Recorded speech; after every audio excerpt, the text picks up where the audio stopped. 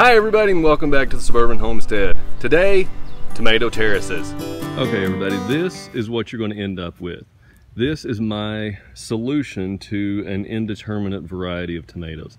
It's the easiest way that I have found yet to have your tomatoes grow in a vine, which indeterminate varieties like to do, and go vertical. So this is it.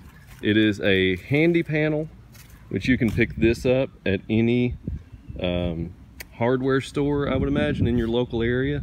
And then I've got two T-posts. So a T-post and a handy panel. This handy panel is, whoop, is eight feet long and it's 50 inches wide. So 50 inches by eight feet. My beds are 12 feet long. Um, it's the best way that I found. I've done twine, I've done string, I've done any variety of wood and it just all wears out. So I'm going metal this year. So here's how we do it.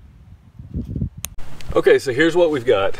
I need to measure back so that I can center my uh, my panels on my beds. My beds are 12 feet long. My uh, panel is only eight feet long. So I just measure back two feet from the end and I will set my first T-post there. I'll do the same thing on the other side. I put them in about a foot to 18 inches or so and then I come in with my panel itself and I attach my panel with T-post clips. So I'll show you how to do that real quick. Let's set the post and then we'll put up the panel.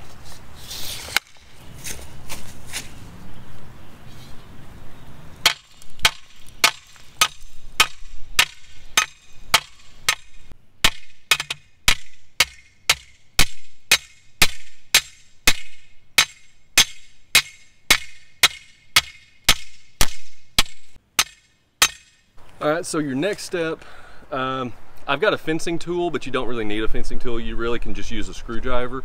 Um, but you're gonna need T-post clips. That is what a T-post clip looks like. Um, you can pick these up. I got these at my uh, tractor supply. Same thing for my, my panel. Um, the panel cost me $14. These clips, a bag of 50 of them cost me like $4. So all in all, I've got two of these up. I'm in at about 30 bucks. Um, doesn't take long to put these up. As you see, this is a really short video today. So um, let me let me put these up and I'll show you how you go.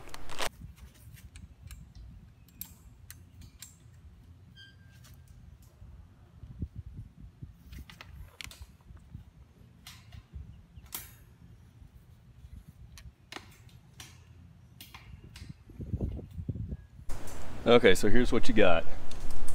You go up and over, pull it tight, up and over, and then pull it down through. Some of these are a little crooked to begin with, so you got to work at it a little harder. Oops. Like I said, sometimes you got to work at it a little harder.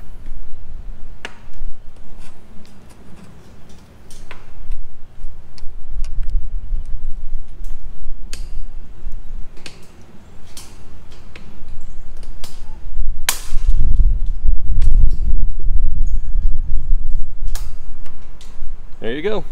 You're locked in. Okay, so one thing I do want to show you, I've run into a bit of an issue here, but it's not a major one.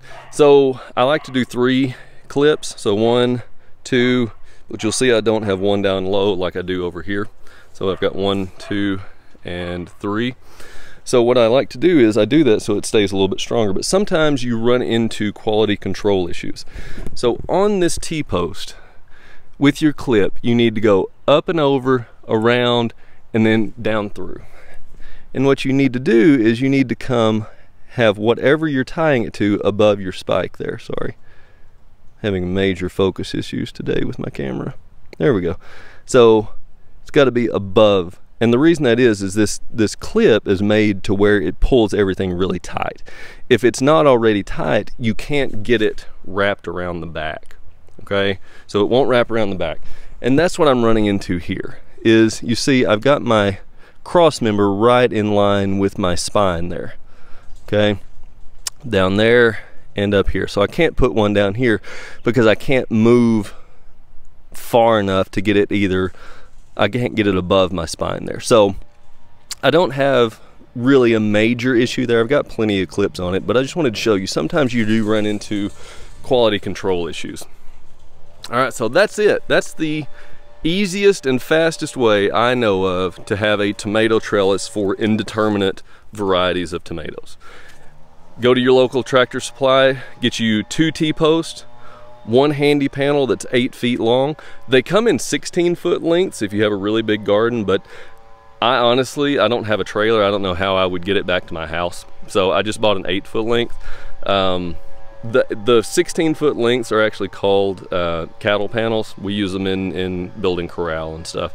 Um, but $13, uh, the T-posts are just a few dollars a piece and a bag of T-post clips is about four bucks. So there you are. You're in it about um, $17 for the clips and the panel and then I forget how much the T-posts were off the top of my head, but it's not more than a few bucks. So 20 bucks, you'll have a reusable trellis for indeterminate varieties of tomatoes. All right, that's it. Leave me a comment down below, give me a like. Uh, hopefully I'll get a few more videos out here. Uh, the job really takes me away in the late fall and early spring. So uh, hopefully I'll have a little more time to work on this uh, whole YouTube channel thing. All right, thanks for watching. I appreciate it and uh, we'll see you next time.